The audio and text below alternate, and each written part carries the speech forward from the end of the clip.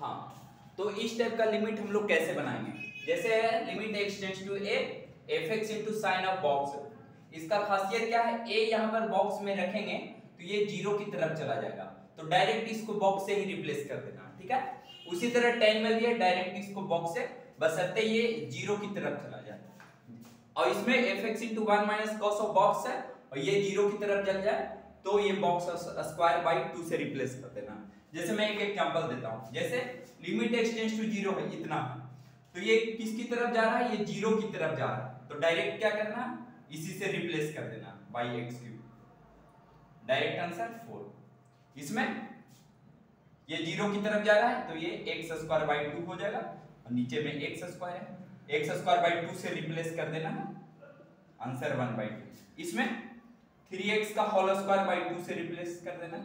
Into five x square तो ये हो जाएगा nine x square by two into five x square. ठीक है? तो नाइन बाई टेन, ये आंसर हो जाएगा। ठीक है? उसी तरह इसमें ये डिवाइड में भी हो सकता है साइन, या तो मल्टीपल मल्टीपल में भी, किसी में भी। इसमें x x plus two into x minus two लिख लेते हैं। और इसको ये टू पुट किए तो ये ज़ीरो की तरफ़ जा रहा है। ये किसकी तरफ़? ज़ीरो तो इसी से रिप्लेस कर देना। डायरेक्ट अब limit x tends to two put करें। टू प्लस टू कितना हो जाएगा? फोर ठीक है ना? ठीक है? तो ये ट्रिक का अप्लाई करके हम जे मेन का क्वेश्चन सॉल्व करते हैं।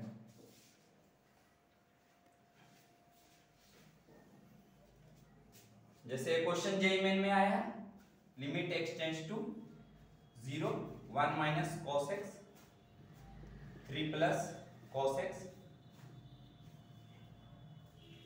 cos two x x into ten four x ठीक है? तब देखेंगे। ये जे मेन का क्वेश्चन है ना तो इसको कैसे सॉल्व करेंगे?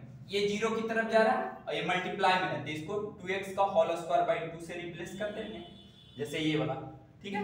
अब ये x ज़ीरो करने पर ये कितना होगा वन थ्री प्लस वन कितना ये फोर डायरेक्ट ये पुट हो जाएगा और ये x का x है, और फिर ये ज़ीरो की तरफ़ जा रहा है फिर से। ठीक है? तो इससे फोर एक्स से रिप्लेस कर देंगे। ठीक है? ये फोर एक्स स्क्वायर ये कट गया। ये डायरेक्ट आंसर ये जे मेन का क्वेश्चन है। ठीक है ना? ऐसे बना सकते